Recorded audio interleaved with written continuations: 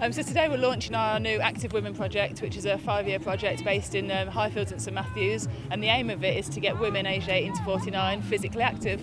Um, that's you know getting them out and about out of the house. Um, it can be socially active, so it can be anything from kind of coming and having a cup of coffee, maybe a game of Jenga or something like that, all the way to maybe playing basketball or football at some point. So it's a, an opportunity to really kind of get women active and, and out and about. So why was St Matthews chosen particularly?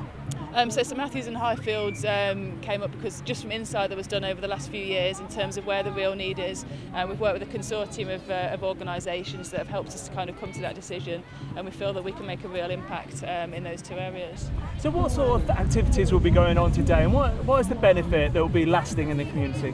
Um, so the activities going on today, we've got kind of the exercise class outside going on in the background. Uh, later on this afternoon we've got a kind of a mental, mental health workshop which is going to talk about the importance of physical activity for kind of mental mental well-being. Uh, we've got some taster sessions in different sports indoors, so we're going to play some football, some basketball later on today.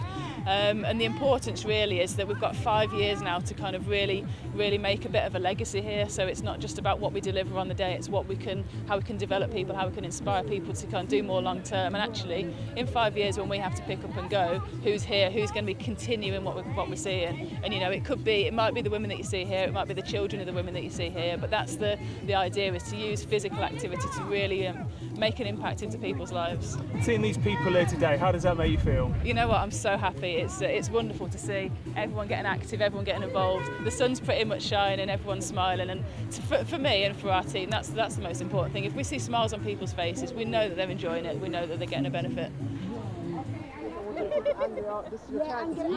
So myself as a participant as well, so just among what you see other people participating in, I used to participate in football sessions myself and eventually I grew with the I grew with the company and I grew myself up within the Laddie in Leicester City in the community and I am here, I'm a full-time staff member at Leicester City in the community.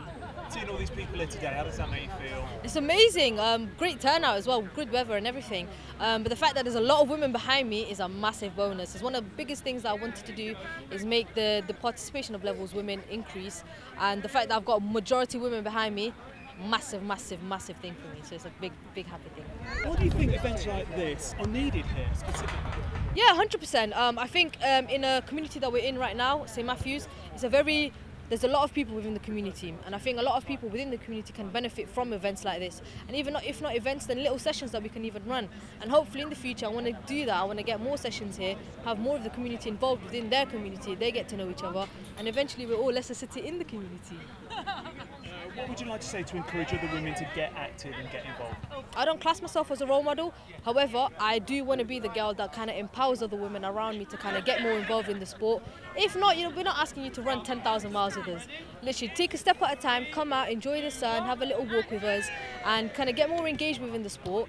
And you'll see, eventually, you will fall in love with the sport hopefully we'll have more role models who are women in the future because that's one of the things I think in this community and predominantly for an Asian girl background I think it takes a lot of courage to actually get out and I think all I'm going to ask you to do is just take one step out and just try it give it a go literally you never know where your story can end up Thanks for that. Yeah,